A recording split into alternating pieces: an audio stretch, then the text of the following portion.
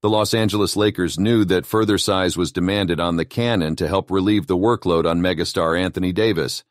When looking at the free agency geography, the Lakers decided to take a chance on Jaxson Hayes, an athletic seven footer with a ton of untapped eventuality.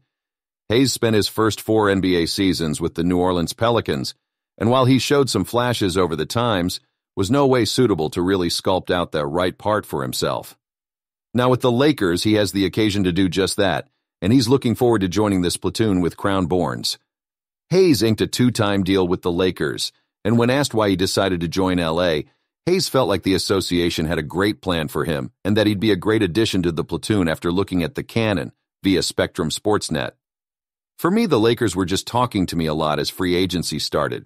They had a really good plan for me and wanted to add me to the platoon, and I felt like I would be a really good addition to this platoon too after looking at the cannon, just looking at the guys that they've, I feel like I could play well with a lot of these guys. For me, tete a tete for my career and just to help me win and help whatever platoon I go join Palm, I allowed that the Lakers would be the stylish fit for me.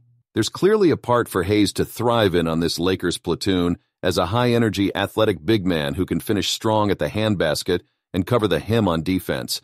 He isn't someone who can produce much on his own, but with LeBron James, Austin Reaves, D'Angelo Russell, and Gabe Vincent, he won't have to.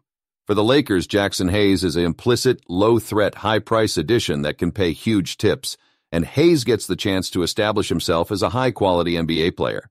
Jaxson Hayes calls it surreal to subscribe with the Lakers. Not only does Hayes believe subscribing with the Lakers is the stylish move for his career, but it's also commodity he has allowed about for a veritably long time. Hayes spoke about growing up watching the Lakers a lot when he was a sprat, noting that he was a bigger addict of the Cleveland gentlemen since he grew up in Ohio, but still spent plenitude of time watching Kobe Bryant and Shaquille O'Neal. To now subscribe with the major ballad is commodity Hayes called surreal, now that it's passing.